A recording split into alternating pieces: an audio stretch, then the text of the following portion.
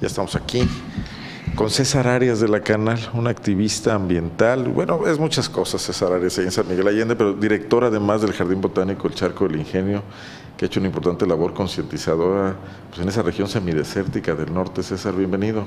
Qué gusto verte, de veras. Bueno, sí, parte todo de ahí, ¿no? del, del Jardín Botánico El Charco del Ingenio, que es un proyecto que tiene 25 años ya es un jardín botánico, pero es más que un jardín botánico, porque eh, implica todo un proyecto de conservación de, la biodiversidad, tanto de San Miguel de Allende como de la zona norte de Tú, en lugar de hacer un fraccionamiento ahí en esos terrenos, que como están los precios de la tierra en San Miguel de Allende, te hubieras hecho rico. Sí, hombre. Bueno, ya, eres, pero has hecho Hiciste un jardín botánico ahí en una cuenca. Mira, no fui yo, muy fue, fue un grupo de gentes eh, verdaderamente interesante porque era un grupo muy diverso, ¿no? donde estaba Federico Gama, que era uno de los fundadores, donde estuvieron arquitectos de paisaje de, la maestría de la UNAM, donde estuvo Charles Glass, que fue un cactólogo, pues quizá de los mejores del mundo. ¿no? San Miguel tiene eso, que atrae gente de repente que tiene capacidades muy interesantes. Entonces, todo ese grupo y el momento, tal vez el momento histórico que fue final de los 90, no, final de, los, 80, 80 eh, sí, este, fue un momento en el que había un optimismo enorme de, en relación con, la conservación de la biodiversidad. Y bueno, mantenerse durante todos estos años, pero ir acrecentando además el compromiso. Vamos a hacer el comercial completo, ¿no? Quien no conozca el Charco del Ingenio, alguien de León o de otra zona del estado que quiera ir, ¿qué va a encontrar ahí? Bueno, es, es un, un área de una belleza extraordinaria, es una cañada que está pegadito a San Miguel de Allende este, donde, donde hay una biodiversidad interesantísima, este, hay un paisaje muy bello. no, no nomás autóctona, has traído especies de otras partes. No, es, está dedicado a la biodiversidad regional. Obviamente hay algunas especies que se han introducido, que ya estaban ahí, pero la filosofía de ese jardín botánico es la valoración de nuestra propia flora, porque en México y especialmente en algunas zonas como Guanajuato se tiende a despreciar las floras. ¿No hacen labores de asesoría de gobiernos que de repente les da por sembrar cualquier clase de cosas? No, ahora, ahora vuelven los pastos, ¿no? Por ejemplo, en San Miguel de Allende de repente están plantando, sembrando pasto, ¿no? Y se evapora el 90% del agua y no hay agua. Entonces es una irracionalidad muy grande. Las plantas nativas tienen miles de años adaptadas a este clima. Entonces, pues son las más adecuadas para este lugar, ¿no? para los toros del canal, no los, caso caballos de allá mismo, ¿no? bueno. bueno, pero ahora el tema, ya lo mencionaste, el tema es el agua en el norte del estado. Hemos venido conociendo noticias aisladas aquí y allá de pozos que se clausuran por arsénico. La gente al principio no entendíamos de un arsénico. Bueno, ¿quién fue y les echó arsénico a esos pozos? No, resulta que como están perforando ya cientos de metros, hay capas de sales. Eh, ancestrales del, subsuelo muy profundo, que esa agua viene con esas sales diluidas y ya no es apta para consumo humano. Sí, precisamente en el foro sobre el agua que realizamos en San Miguel de Allende y en la declaración que fue el manifiesto que surgió de ese foro. ¿A quiénes convocaste? Pues mira, nosotros convocamos básicamente a sociedad civil, organizaciones civiles, eh, este, académicos, ambientalistas, eh, artistas también, pero científicos. O sea, el, eje de este foro fue verdaderamente de científicos, ¿no? Y no solamente de, hidrología o de geología, sino también de medicina clínica, porque ya los efectos de esta agua, como mencionas, están ya siendo sumamente graves, ¿no?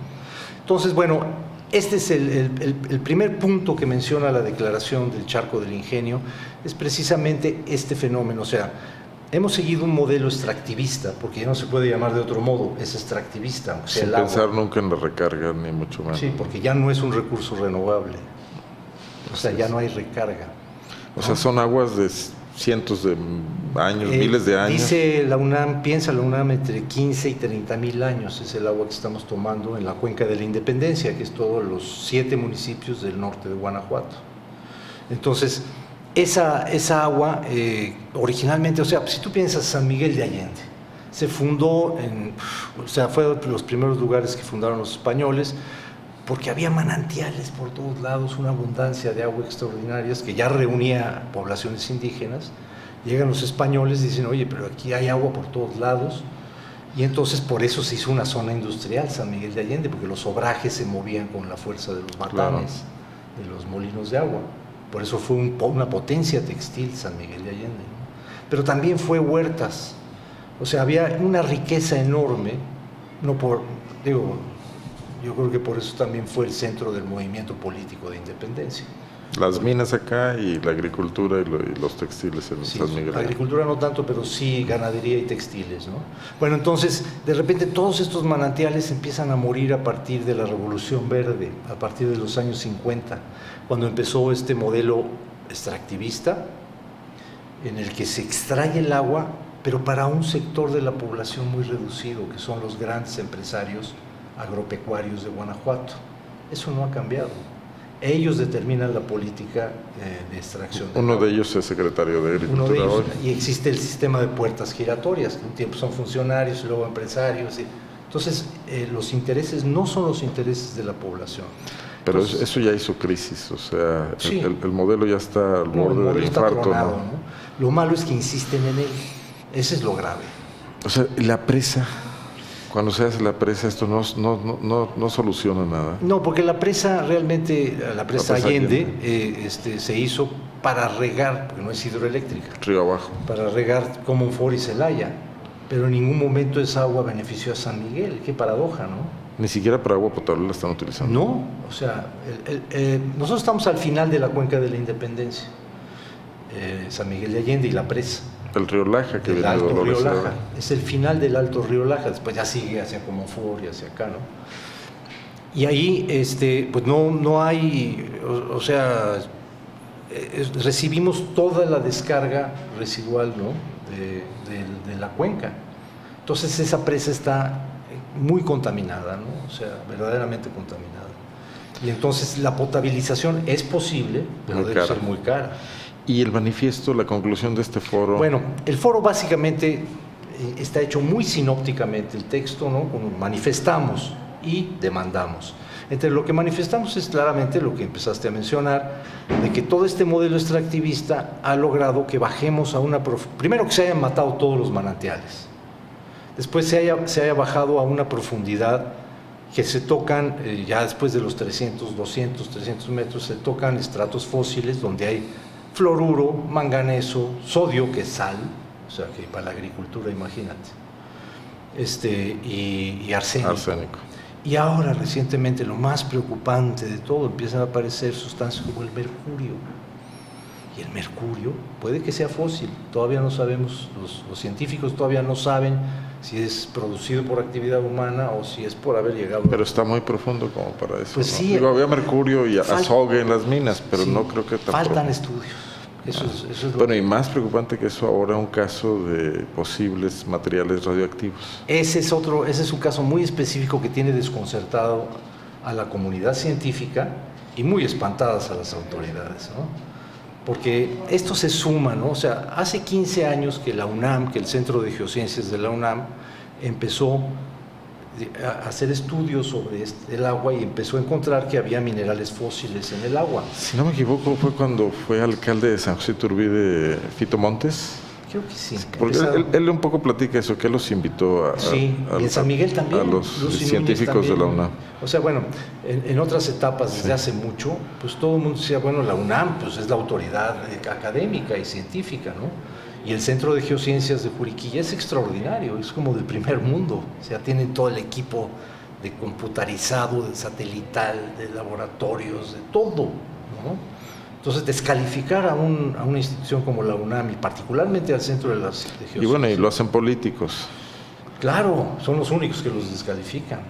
Entonces, el, problema empezó cuando se detectó toda esta masa de minerales que estaban empezando a invadir el agua y además que tienen efectos sobre la salud humana innegables. Entonces, los primeros puntos del, manifiesto marca esto, que desde hace años se ha señalado que existen estas sustancias en el agua y las autoridades han tenido una estrategia incomprensible. No la podemos entender, que es negar. De vez en cuando clausuran un pozo, de vez en pues cuando. sí, pero eso es negar, ocultar y descalificar. Yo de veras haría un pedido a las autoridades que ya cambien su... O sea, necesitamos políticas públicas que enfrenten el Se hizo una comisión estatal del agua que no existía antes. ¿Ha funcionado de Esa Comisión Estatal del Agua durante 10 años se dedicó a negar la existencia del fluoruro y del arsénico en el agua. Ahora que ya no lo pueden negar, después dijeron, no, bueno, pero no es la causa de, las enfermedades que hay. Y ahora, pues sí, pues sí, sí es la causa, pero hay un, ánimo como de ocultar y de, y de negar que no tiene sentido. Es un problema que no se puede patear el bote más años. Antes decíamos, cuando venga la crisis del agua, hoy estamos en la crisis del agua ya no es de futuro, la estamos viviendo.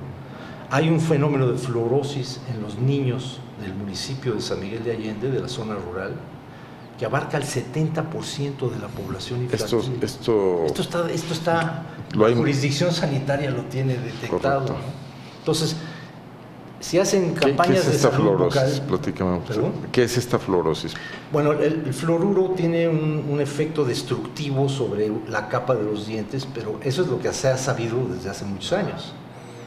Pero lo que no se sabía es que también afecta el sistema óseo, que también afecta el sistema renal, los riñones, por eso Dolores Hidalgo tiene un alto grado de problemas renales. Sí, así es. Y afecta lo más grave, el funcionamiento cerebral. Parece que se aloja, según nos decía una doctora que fue al foro, una especialista en este tema, se aloja en partes blandas del organismo y el cerebro es una de ellas. Y entonces eh, está afectando el nivel de aprendizaje de los niños de una manera clarísima. ¿Alguna institución científica se ha hecho cargo de hacer alguna investigación? ¿Le ha llamado la atención a La UNAM. O sea, no solamente geociencias, sino también ha habido estudios en los que han participado gente, eh, médicos y especialistas en salud. Eh, o sea, todo está documentado, todo ha sido publicado, ni siquiera es una información que guarde la UNAM. Entonces, eh, el, problema número uno es eso, la contaminación por contacto con materiales fósiles. Y ahí está incluido el problema de la cantera, que es este lugar de, esta comunidad de San José Iturbide, donde ha habido... Pero por eso se salió de, todos los parámetros, pues porque radioactividades... No se sabe si es por el gas radón que está acumulado en esas capas de flujo y que emana, o bien que hubo algún tiradero, digamos, de basura industrial o radiactiva. Ahora que sabes que se pierden estos, estas pilas atómicas que se utilizan en los aparatos de rayos X, eh, o sea, durante fuentes de radiación. del norte de Guanajuato, San José Iturbide fue el primer municipio que se industrializó masivamente y con el incentivo de inversión que significa la impunidad ambiental. No tienen que hacer plantas de tratamiento, no tienen problema para tirar sus desechos, los echan donde sea. Ahora ya empiezan, no, no, es que no en todos lados. Pero no sabemos si, esa contaminación, esa radioactividad está demostrada en tres pruebas consecutivas por el Instituto Nacional de Investigaciones Nucleares, este, eh, no sabemos si tiene un origen de actividad humana. O sea, de que hay radioactividad, hay radioactividad. El origen es, otra causa. y las muertes de niños por leucemia están vinculadas. Sí, sí. Bueno, ahí es donde se necesitan más estudios, porque se tiene que establecer clínicamente cuál es la vinculación entre la radioactividad alfa, cuatro veces por arriba de la norma oficial, así está. Acabamos de ver el último comunicado del Instituto de Geociencias de la UNAM, sí. en ese sentido ratificado, y hablando además de que un compromiso de coordinación entre los tres niveles de gobierno para continuar los estudios se ha incumplido. Pues sí, pero el compromiso era que lo iban a hacer junto con la UNAM y la Asociación Civil de las Mujeres, de las Víctimas, o de las afectadas. ¿Ya se, ¿Ya se organizaron? Pero los dejaron a un lado, hicieron su reunión, pero no incumplieron la minuta, incumplieron el acuerdo porque no convocaron a la UNAM ni a, las, ni ni a la comunidad. Parte de esto se refleja también en el documento que emitieron. Sí, sí, o sea, es una mención pequeña porque los problemas son enormes. ¿Se puede encontrar este documento en Internet? ¿Es público? Ahorita nos dices dónde, ¿no? Para quien se interese. ¿Vinculación con otras organizaciones ambientales o con otros...? Sí, o sea, nosotros no hicimos solo esta, este foro ni esta declaración. La hicimos junto con un montonal de organizaciones civiles de San Miguel y de, y de, y de la región. Hubo gente de San Luis de la Paz, hubo eh, Cedesa de Dolores Hidalgo, que ha tenido un papel muy importante, este, eh, Vía Orgánica en San Miguel. Que es una organización comunitaria, ¿no? Fundación, Fundación de Apoyo Infantil. Este, varias organizaciones que han, Audubon, que son los extranjeros que viven en San Miguel, que también tienen inquietud sobre los temas ambientales. Ahí viven, consumen esa agua, ¿no? Ahí toman agua. Entonces, bueno, ha sido muy interesante porque San Miguel reúne muchas organizaciones civiles y, siempre nos unimos para este tipo de, actividades ¿no? y, de temas. Entonces, está el tema entonces de, de la contaminación fósil, que es gravísima porque no la han enfrentado a fondo, o sea, ni siquiera la quieren reconocer. Y dos, y eso habla de Conagua y del gobierno del Estado.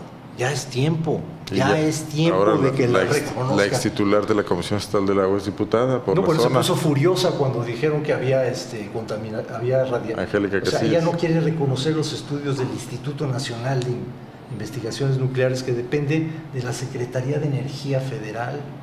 O sea, con agua tampoco quiere, ¿no? ¿Por qué no lo reconocen? Tal vez porque va a quedar en evidencia que durante 10 años no hizo nada. Y un problema de salud pública que hay que atender de inmediato, ¿no? Y que, y que escamotearon. Y que ahora se viene encima, pero con una fuerza increíble. Porque, bueno, el segundo tema de contaminación no es fósil, sino es la contaminación creada por actividades humanas. O sea, que son los drenajes sanitarios en San Miguel de Allende es el caso, pero en todas las ciudades del norte de Guanajuato, en los que no hay ni siquiera... Las plantas tratadoras que se han construido no funcionan. o no la, funcionan la mayoría no funcionan, o no son suficientes, funcionan, o no operan, porque hay, hay unos eufemismos increíbles, este, o bien eh, ya, son, ya fueron superadas por el exceso de drenaje, o simplemente no hay. Porque digamos, si una comunidad rural de repente se cercana a la ciudad o se urbaniza, inmediatamente meten el agua potable y en el momento que meten el agua potable sale la misma cantidad en drenaje sanitario y no hay plantas de tratamiento. Entonces va a los arroyos, a los cuerpos de agua, eventualmente se puede infiltrar al acuífero. Pero digamos que esa es la contaminación menos grave, pero las empresas también hacen lo mismo. No, bueno, esa es una. Después viene, lo más grave es el modelo agroexportador, porque digamos los, los agroquímicos que utilizan estas plantaciones masivas de, de, Paz, lo que se exporta a Nueva York, porque ya destronamos a California en la exportación de hortalizas. La agroexportación es lo que está chupándose tal vez más de un 70-80% del agua del norte de Guanajuato. Toda de pozos. Sí, o sea, es, es, ah, eh, digamos como exportación virtual de agua. O sea, porque tú mandas. No, pero pues, ojalá. Estamos exportando agua a través del brócoli, del espárrago. Pero toda la que se evapora, el riego, ah, es la cantidad, es la forma más. Somos muy generosos, le echamos a la atmósfera, ¿no? Sí. Pero está, o sea, el agua la estamos sacando del subsuelo, la estamos tirando, o sea, estamos sobre un modelo que no crea ni, ni consumo local, ni mercado interno, ni nada, pero sí enriquece a una serie de empresas y de familias que han vivido de eso durante muchísimos años y no están dispuestos a cambiar su modelo de extracción. Ya no va a aguantar más. Tienen ellos mismos que darse cuenta de que ya no es viable. No han tecnificado o no lo Sí, sí, sé que muchos de ellos, los, más, los que tienen más recursos, han empezado a, integrar eh, riego por goteo, que eso es una medida eh, saludable, ¿no? es necesaria. Pero no nada más es eso, se trata de detener la extracción políticas públicas, que es lo que pedimos en la declaración, que detengan primero que nada la extracción salvaje y irracional, que ya no puede seguir. Son 3.000 pozos en, la cuenca de la Independencia, o sea, en el norte de Guanajuato, de los pues cuales la mayoría son ilegales, o no la mayoría, un, tanto son ilegales. Y entonces tú dices, bueno, lo primero es detener la extracción, lo segundo sería infiltrar agua de lluvia, hacer obras que permitan la infiltración de agua de lluvia al acuífero, porque ya no hay recarga. Y otra tendría que ser con inversión pública. El agua sirvió para intereses privados y ahora sería el Estado el que tendría que hacer Y no están dispuestos a hacerlo, porque su modelo y su ideología es, no, eso lo hace la iniciativa privada. Respuesta de la autoridad a tu manifiesto, ¿alguien lo leyó? ¿Qué sabes? Eh, bueno, hubo, la, eh, eh, este, invitamos a, a Javier Usabiaga y ya estaba apuntado, pero no fue, pero mandó a un subsecretario que se Querías mencionar la soga en casa del ahorcado. Sí, bueno, lo mandaron a la guerra sin fusil. porque verdaderamente ahí, cuando empezó a exponer el plan estatal hidráulico, que se publicó en 2015, cuando nosotros leímos el plan estatal hidráulico dijimos, esto no es posible. O sea, está hablando de un país que no es, está hablando de un estado que no es. No menciona ni la sobreexplotación de los montes acuíferos, ni la contaminación fósil. Habla de la contaminación superficial, pero siempre como algo, pues, ya se va mejorando y no sé qué, y no se está mejorando. Hace unos días murieron ah, eh, peces otra vez y se incendia el río Laja y presa de Silva después de cuántos años. El río Laja también, además del Lerma. No, el río Lerma. El Lerma, el Lerma. No, el Laja lo que tiene es verdaderamente, pues ya es un río muerto. Sí. En, sobre todo ya hacia Celaya, ¿no? Y, este, y, y, todo eso no, no, no lo están o sea, no, no, se atiende, o sea, hay, hay una catástrofe ambiental. ¿Qué hacer para que esto empiece a permear? Bueno, ¿Campañas de difusión? yo diría, por ejemplo, este foro del agua no es querer atacar al gobierno, no nos interesa eso, simplemente es manifestarnos, ¿no? decenas de organizaciones y de ciudadanos, somos más de 100 firmantes, incluso desde Oaxaca y de Puebla y de Michoacán y del norte y de San Luis Potosí, este, de que, de que se, se apliquen políticas públicas, se instrumenten políticas públicas que detengan esta locura irracional de extracción que no para. Yo cuando le dije al de Conagua en una ocasión, dije, ¿no sería esa la política pública más? No, es como decir, ¿cómo vamos a parar si es claro. el desarrollo económico? Eh, Voy a terminar ya esta entrevista Sí. por hoy, porque yo creo que los temas son... de Sí, sí, sí, ¿verdad? pero te voy a invitar seguido, si puedes venir a León, si algún día iremos a San Miguel, el Charco del Ingenio Sí, también para, por favor, ven, hace mucho para hacer no cosas ahí por- juntos. Como que ya, es que los de Guanajuato no, No. quieren a los de San No, Miguel. no, no, pues a mí me encanta San Miguel. Pero vamos a mantenernos en contacto porque esto, ustedes van a seguir haciendo activismo, van a seguir Absolutamente, este, porque esto es gravísimo. Buscando interlocución. Sí. Y, ya- y aquí este es un espacio. Un día vamos a invitar a una autoridad y te invitamos a ti para, para hacer un Con pequeño debate, ¿no? gusto, ¿Te parece? no tengo ninguna reticencia a ello, ¿no? La página web donde la gente puede leer. Bueno, pueden abrir la página del Charco del Ingenio, que es el, eh, elcharco.org, y ahí El adentro, charco, ese. el charco.org, ahí está el boletín informativo, y en el boletín informativo está la declaración. Sí, ahorita es, es como muy largo el, el link de la declaración. Y en Facebook, la gente que se dé En Facebook está en primera, en, en primera línea, el Facebook del Charco del Si Ingenio. le ponen me gusta y estarán pendientes de tus noticias. Claro que sí, sí. Y bueno, y, y sí hay otros temas que tenemos que hablar. Está lo de la erionita, de Tierra Blanca, y lo de la cantera, que las mujeres son, en- no se van a dejar. Estas Te propongo algo, y aquí al aire hacemos el compromiso. ¿Por qué no invitas a estas personas ¿A de la mujeres de la organización de, víctimas y nos vemos aquí en tres o cuatro semanas máximo? Sí, me parece ¿Sí? buena ¿Nos idea. ponemos de acuerdo? Sí, claro que sí. Platicamos con ellas. Muy bien. Muchísimas Arnoldo, gracias. muchas gracias. Un ¿eh? gusto verte, Hasta de veras. pronto. César Ares de la Canal, una historia de activismo y de presencia ahí en la región norte del estado, con diversos temas, pero sobre todo ambientales. Mira, ya se, ya se fue, tiene Ah, prisa, pero no te preocupes, es que estamos todavía a cuadro. Pero Sí, sí, estaba cuando- yo voy a una pausa, regresamos.